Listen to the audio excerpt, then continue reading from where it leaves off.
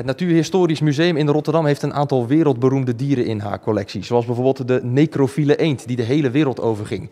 Ook de McFlurry-egel is inmiddels beroemd en sinds deze week heeft het museum er een nieuw exemplaar bij, de mondkapmeel.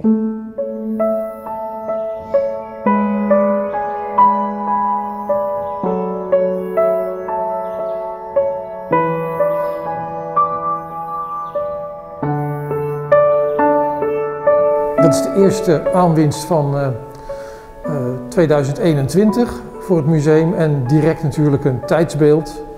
Want deze mail die is uh, aangereden en toen bleek dat hij een, een mondkapje om zijn poot had zitten. Het zijn allemaal fatale botsingen tussen mens en dier. Nou is het wel zo dat deze mail niet overleden is aan het feit dat hij een mondkapje om zijn poot heeft. Maar dat is natuurlijk een kwestie van tijd, want dit stukje mondkap kan natuurlijk ergens blijven haken. Dan zit zo'n mail ergens aan vast, kan niet meer weg. Dan gaat hij ook dood.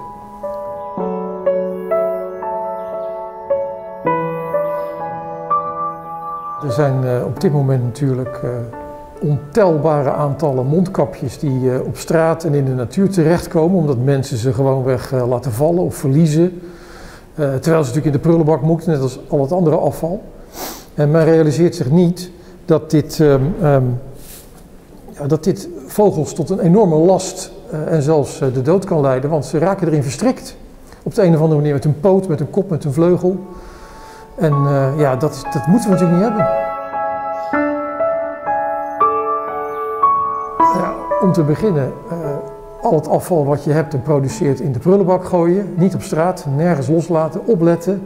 Uh, zelfs als je een mondkapje uh, weggooit, trek dan even de elastieken kapot. Ja? Want als een dingetje uit een prullenbak waait op straat komt, is het gevaar eigenlijk geweken. Uh, en ik ben een voorstander van, van stoffen mondkapjes, die je niet weg hoeft te gooien, maar kan hergebruiken.